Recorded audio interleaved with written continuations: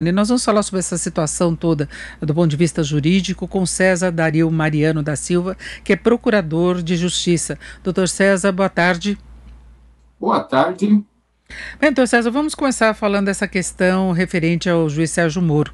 Né, já houve maioria aí da segunda turma dando continuidade ao julgamento dessa ação. Faquinha era contra, ele acreditava que a anulação. Ah, descaracterizaria a necessidade desse julgamento, mas Nunes Marques, inclusive, lembrou da precariedade da decisão de Faquim, que ainda terá de ser validada pelo plenário da Casa, né, e ainda pode haver retomada do processo contra o ex-presidente Lula. Mas eu queria saber como é que o senhor vê essa situação hoje do ex-juiz Sérgio Moro. A situação no que tange não só ao ex-juiz Sérgio Moro, mas toda a operação Lava Jato, ela está em xeque ela está em xeque em duas frentes. Primeira dessas frentes é a decisão do ministro Faquim, que entendeu ser a 13ª vara da Justiça Federal incompetente para esses processos, porque segundo o ministro não haveria prova de correlação entre as vantagens ou as fraudes que foram perpetradas e a Petrobras ele entende que há uma ligação que diz respeito a duas refinarias, mas também haveria ligação com outras empresas públicas, e por isso a vara não seria ah, competente para tanto. A vara competente seria, de acordo com a sua decisão, a de Brasília. Eu não concordo com esse posicionamento em especial, uma vez que a competência da 13ª Vara Federal de Curitiba ela já foi reconhecida, primeiro pelo próprio juiz Sérgio Moro, segundo por três desembargadores do Tribunal Regional da Quarta Região, que é de Rio Grande do Sul, e por quatro ministros do Superior Tribunal de Justiça que verificaram sim essa ligação existente entre as fraudes e duas dessas refinarias que já é mais do que suficiente para atrair a competência para a Operação Lava Jato. Afora isso, há o que nós chamamos de conexão instrumental probatória. Ou seja, as provas, todas essas provas reduzidas, é, produzidas no âmbito da Operação Lava Jato, elas estão todas dentro do mesmo contexto. Então, uma auxilia a outra. Se você distribui isso para diversos juízos, corre-se o risco de termos decisões conflitantes. Então, existe sim essa reunião. Faquim entendeu que não e vai ficar na dependência do magistrado de lá, de Brasília, convalidar ou não as provas existentes. Ou seja, ele pode entender que essas provas não são válidas e anula todas e teria começado tudo de novo. A segunda frente é o que nós estamos vendo agora. O julgamento da suspeição da parcialidade do juiz Sérgio Moro, porque, segundo a, a defesa, há provas suficientes de que ele estaria já preconcebido a condenar, ele seria parcial. E essa prova da defesa, ela acabou sendo também reforçada por, pelas mensagens criminosamente hackeadas. E eu vou mais longe, foram criminosamente hackeadas e não foram autenticadas. Por quê? Porque não foi feita perícia nos celulares e nas mensagens. Sem essa perícia no celular, que é o órgão emissor, não há como nós sabermos se houve qualquer tipo de, de edição ou montagem ou que essas mensagens foram tiradas do contexto. Então, nós temos esses dois problemas hoje que são muito sérios para a Operação Lava Jato. Vejam que, em qualquer das duas hipóteses, as provas podem ser anuladas e o processo tem de retomar desde o início, desde o recebimento da denúncia, o que é quase com certeza que vai advir a prescrição, haja vista que Lula é maior de 70 anos de idade, o prazo prescricional é reduzido da metade. Então, a situação hoje, tanto do juiz Sérgio Moro quanto dos demais procuradores da República, no que tange a Operação Lava Jato ela é, é bem complicada. Agora, procurador, é preciso considerar duas condições também. Primeiro, se for confirmada a suspeição do ex-juiz Sérgio Moro, eu queria saber quais seriam as implicações ah, para uma eventual retomada de todos os processos pela Justiça Federal de Brasília. E depois, a decisão do ministro Faquim de anular os processos pode ir a plenário e o plenário também decidir pela anulação. Nesses dois casos aí em separado, quais seriam as implicações para a continuidade dos processos? Veja bem, se o plenário decidir que, que realmente a, a 13ª Vara de Curitiba é incompetente, vai depender de do que o plenário vai dizer no que diz respeito às provas produzidas. Se acompanhar o que diz o que decidiu o ministro Faquim, assim que for distribuído a um outro magistrado, o magistrado vai decidir se valida ou não essas provas, ou seja, aquelas provas que foram produzidas pelo juiz Sérgio Moro, se elas serão aproveitadas ou não. Se ele entender que essas provas serão aproveitadas, a instrução já está produzida. Pode-se até abrir a, a, para a defesa para apresentar outras testemunhas, apenas por cautela, nem haveria necessidade. Passaria-se direto para as alegações finais e a prolação de sentença. Agora, se ele entender por não convalidar essas provas, primeira coisa que o juiz terá que fazer de qualquer maneira é receber a denúncia.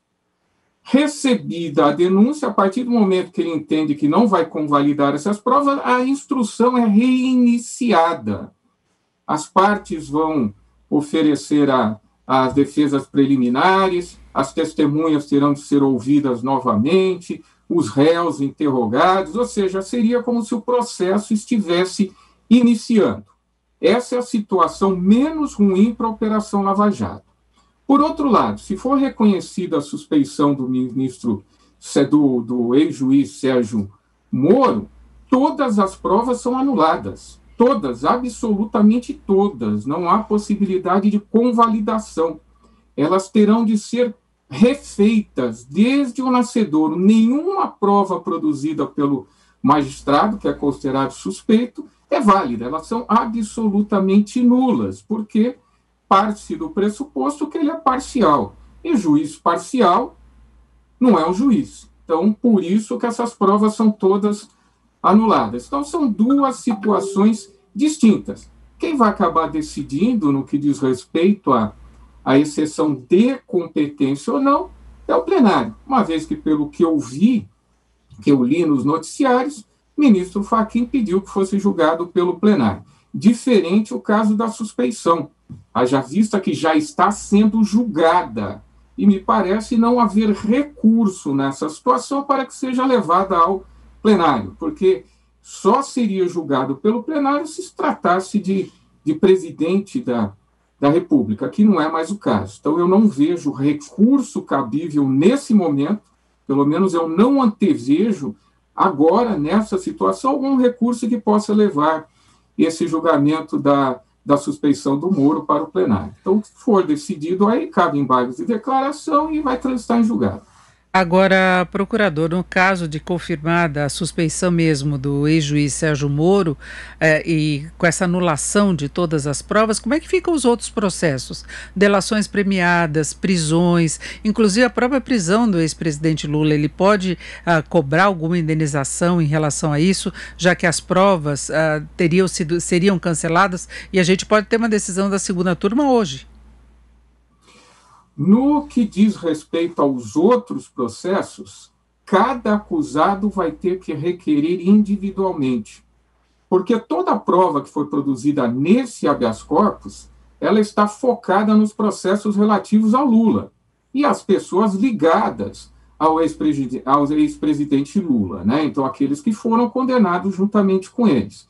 Nos demais casos, deverá ser produzida a prova de que ele também era suspeito. Então, isso vai ter que ser analisado caso a caso. Então, vai depender de produção de prova, porque tudo que se tem agora está relacionado ao presidente Lula e às pessoas que foram processadas junto com ele.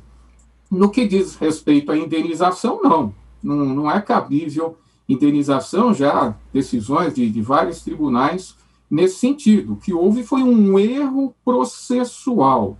Erro processual não enseja de forma nenhuma indenização. Não se está dizendo que Lula é inocente, que não há prova nenhuma, que a prova foi forjada, nada disso. Está dizendo que o juiz era suspeito, porque houve essa relação de parcialidade, principalmente por conta dessas mensagens que apareceram, com essa troca de, de, de informações, troca de ideias existentes entre o juiz de direito e procuradores da República. Então, no que diz respeito à indenização, a jurisprudência é remansosa nesse sentido, porque senão toda pessoa que é absolvida, e não é o caso, porque ele não foi absolvido, as provas foram apenas anuladas, elas vão ser refeitas, e muito provavelmente serão repetidas. Então, no que diz respeito a isso, não, não é caso de indenização, senão toda pessoa que fosse absolvida, ou que fosse presa, que fosse concedido habeas corpus, teria direito à indenização, que não é o caso. Agora, procurador, é, é, no mínimo estranho a gente tentando simplificar que o próprio Supremo confirmou a prisão do ex-presidente Lula e agora questiona toda a situação que levou ele à prisão, não é? Eu acho algo inusitado, estranho, que eu estou tentando entender até agora. Primeiro, porque essa questão da, da incompetência da, da vara da 13ª vara, ela já foi arguída em primeiro grau, segundo grau, foi arguída no Superior Tribunal de Justiça e sempre afastada. Nesse momento, num julgamento em embargos de declaração de habeas corpus, reconhecer a incompetência, eu achei algo assim surreal. Eu nunca vi nesses meus 30 anos que eu atuo no, no direito, só de Ministério Público já tenho quase isso. Nunca vi isso daí, porque habeas corpus ele não é utilizado para reexame de provas. Habeas corpus é, ele se é utilizado para revisão de matéria fática, de matéria de direito, não reexame de matéria fática. A partir do momento que, que há necessidade de ingresso profundo na matéria fática, não é cabível habeas corpus, muito menos embargos de declaração em habeas corpus. Então, é uma situação, vamos dizer, que é inusitada. Eu nunca vi.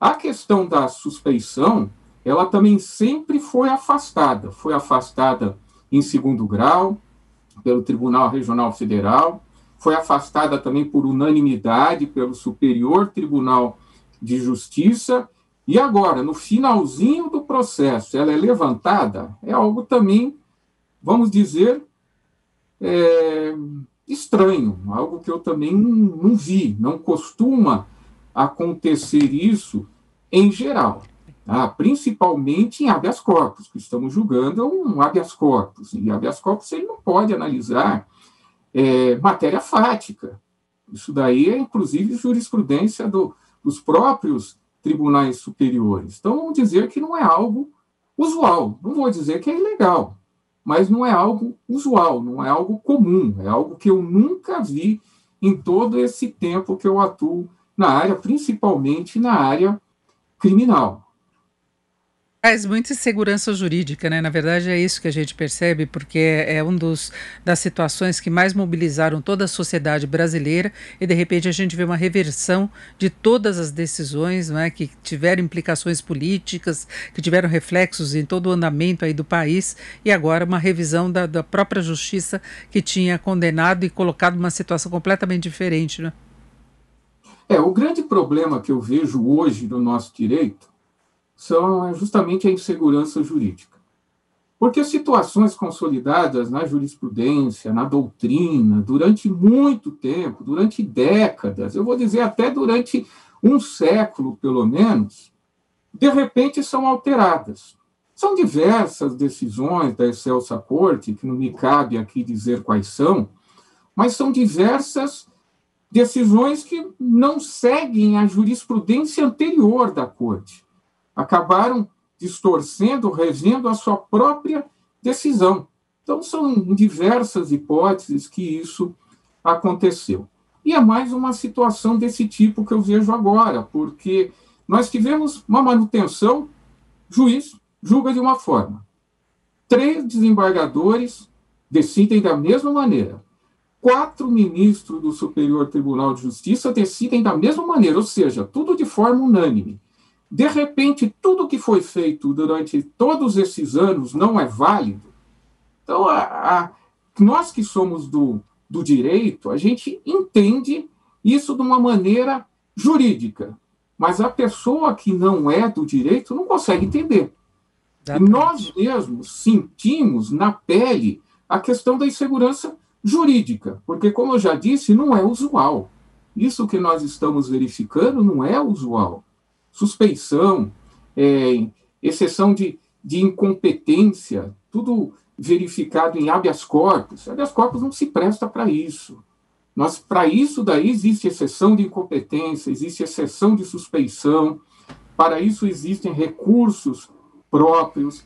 Então, dentro do nosso sistema processual, vamos dizer que são decisões inusitadas, não são decisões que a gente vê constantemente. Como eu já disse, eu nunca vi. É a primeira vez que eu estou vendo esse tipo de decisão nesses 30 anos que eu atuo na área jurídica.